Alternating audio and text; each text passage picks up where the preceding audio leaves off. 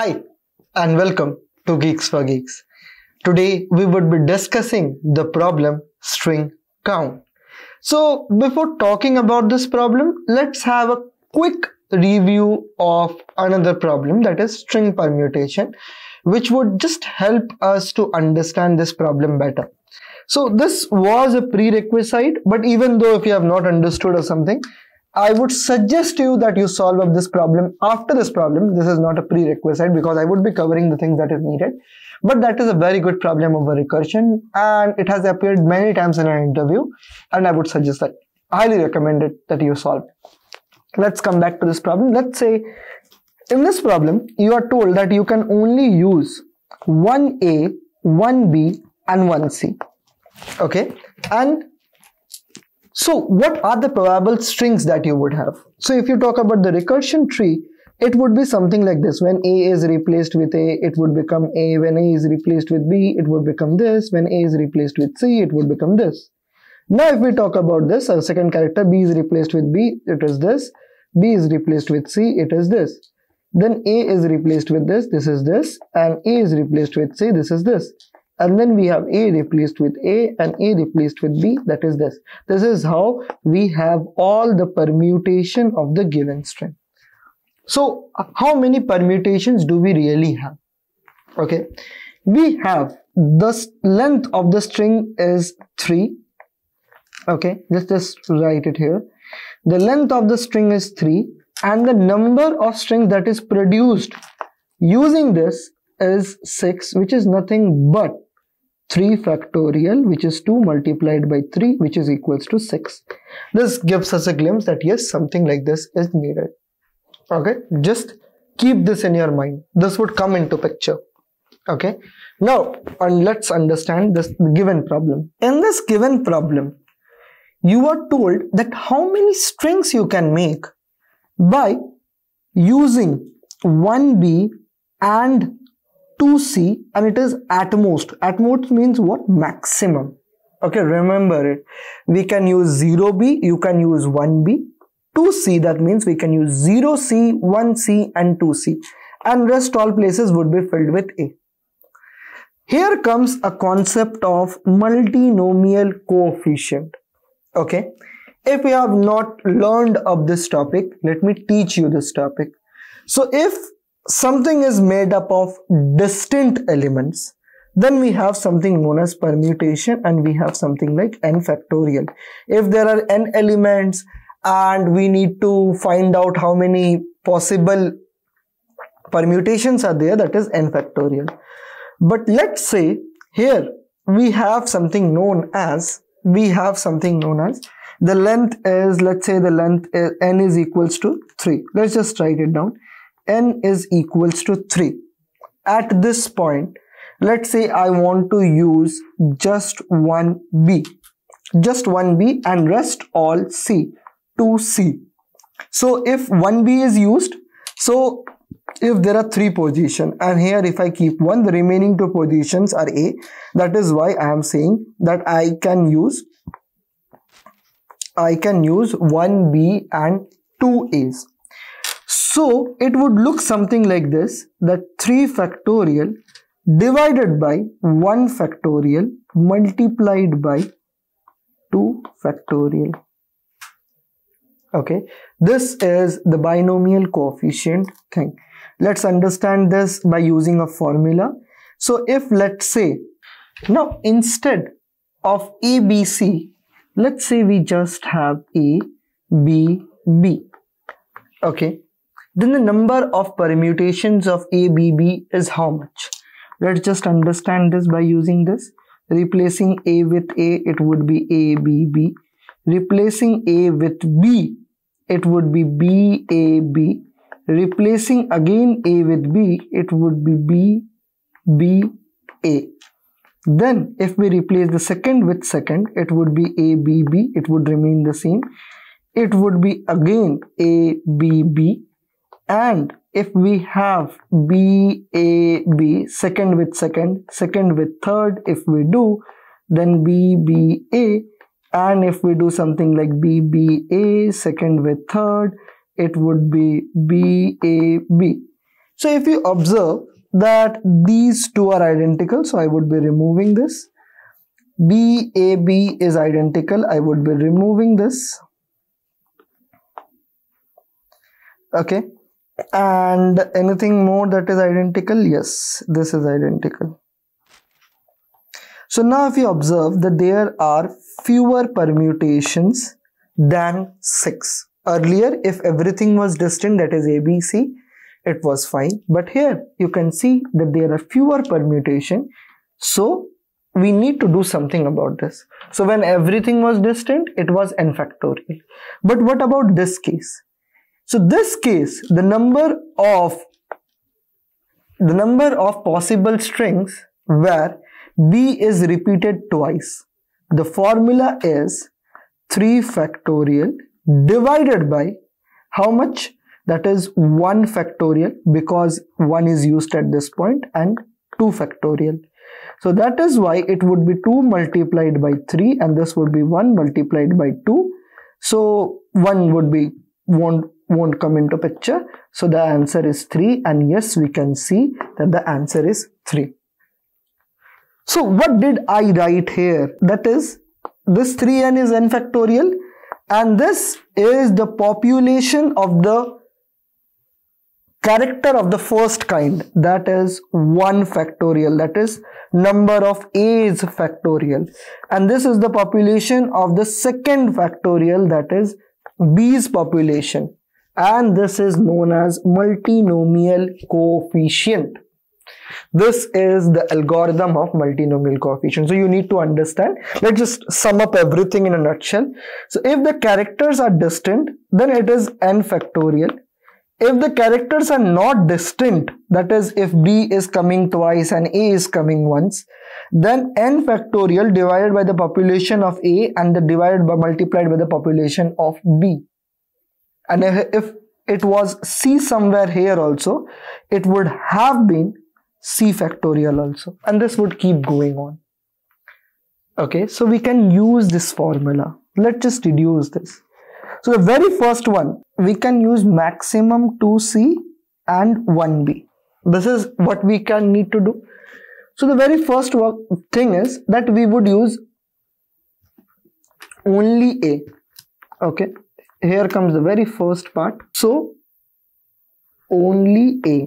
That is if let's say the number uh, 3 so that would be n factorial divided by the population of a. So if the string constitutes of only a so if let's say there are three position and everything would constitute of a the population of a would be equal to the length that is why this would be n factorial which is equal to 1 this is the first one talking about the next one okay? 1a only A. Then 1 B and rest all position. So if one position let's say there are three position if one is taken by B then there are n minus 2 position which needs to be filled by A because we are only using 1B we are not using C. So 1B and I can say n minus 1 is. so this would be nothing but n factorial divided by 1 factorial multiplied by n minus 1 factorial.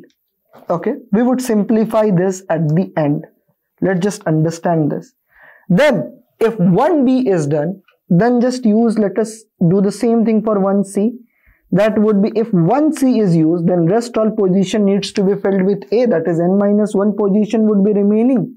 So n factorial divided by 1 factorial that is population of A and the population of B that is n minus 1 factorial. Done. 1C is also done. 1C is done. Then we have 2C. If we are using 2C then this would be nothing but n minus 2A's if we are using 2C's so that would be n factorial. So at this point you would see that yes you can build out out of this. n factorial divided by 2 factorial multiplied by n minus 2 factorial. So 1c is done 1b is done 1c is done 2c is also done. Okay. Now, now 2c is needs to be so 1b with a is done 1b and a is done 1c with a is done 2c with a is done. Now c b with c and b with 2c b with 2c and rest all positions. So these all are remaining. So these are all the combinations. I would be writing down the combination. B with 1c b with 2c and this is done these are the remaining two cases that we need to handle. Okay. So 2c is also done. Now 1b 1c so 1b 1c so if two positions are filled then we would be left with n minus 2 positions for a and that would be n factorial divided by 1 factorial multiplied by 1 factorial multiplied by n minus 2 factorial. Fair enough. Here comes the last one that is 2c and 1b. So 2c and 1b. This is the max we can do. So we have n factorial positions and dividing it would be 2 factorial multiplied by 1 factorial multiplied by n minus 3 n minus 3 factorial. Done till this point. Now let us just simplify all of this because we don't need to use factorials. Why? So this is equal to 1. So this is clear. So at this point this thing is clear. So this would be what? This is n factorial that is let's say n minus 1 okay so i can write it as n minus 1 factorial multiplied by n. N factorial can be written as n minus 1 factorial multiplied by n. And this can be 1 i can ignore and n minus 1 factorial. So i would cut both of this which is equal to n. So this is 1 and this is n. Same goes for this side I can again write n minus 1 factorial multiplied by n. n can be n factorial can be written as like this and n minus 1 factorial I can write it like this and this would be n. Okay and I can write it in the same manner for this n minus 2 factorial multiplied by n minus 1 multiplied by n minus 2 n multiplied by n. Okay and this is 2 multiplied because 2 factorial can be written as 2 1 multiplied by 2 1 I can ignore and n minus 2 factorial. So I can remove out of this. And this is equal to n minus 1 multiplied by n is equals to 2n minus 2 okay and this is equal to the same thing that we did before. So 1 factorial 1 factorial we can simply ignore. So n minus 1 multiplied by n would be remaining. Okay? And this would be again n minus 2 because n minus 3 would be cutting it off. Multiplied by n minus 1 multiply it by n. Okay multiply it by n and below would be just 2 because we would be ignoring this. If we multiply everything, if we multiply everything that we have written, we can just write a plus plus plus plus to everything and that would be done. Now, so let's just write this at this point. Return, first one is 1. Then we have something like n and then we have again n so we so i would be cutting this. 1 is done n is done and then again n is done. Okay. Then 2n minus 2 okay. That is or I can simply write n multiplied by n minus 1 I can simply take up this and divided by 2 at the end. I can simply write n multiplied by n minus 1 okay. This has also divided by 2 and this thing has also divided by 2 okay. So n multiplied by n plus 1 divided by 2 which one is done? This one is done. Now we have again n minus 1 multiplied by n. So we have n multiplied by n minus 1 okay. Then we have something interesting. That is n minus 1 so this is again also done. n minus 1 n minus 2 multiplied by n so we have something interesting at the end so we would just enclose this with a bracket and multiplied by n. So I would just write it in the same manner it is n minus 2 multiplied by n minus 1 multiplied by n and whole divided by 2. I have written it in the same manner as it is here.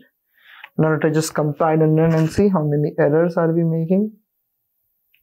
Seems correct.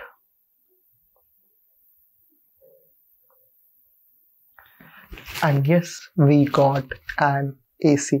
So to be honest, this long equation, you can again write it down in a pen and paper and you can simplify it. Like you can take out the like terms outside, then you can handle the constants and all. But you wouldn't have come up with that how this small line has came up okay so this is by using multinomial coefficient you take out all the things like this and then you need to do this so even though the video length is small for this so i know that this problem is a little bit confusing and i took a lot of hard work to make the video time extremely small but extremely insightful. A lot of background effort has been given to this problem to just explain you this. Okay, in front of the camera, I forgot a lot of things to be honest. So I would urge that you comment the rating of this video and leave a small comment for this because it has been a long time I have not read out comments for me. So if you have liked it, comment it if you didn't like it, tell me the ways to improve it. That's it for today. This is me, Siddharth Hazra, signing off.